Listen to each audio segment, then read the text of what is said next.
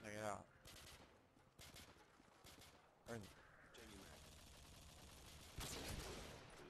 Oh wow, I was still spraying at Lukey and shooting at his pistol.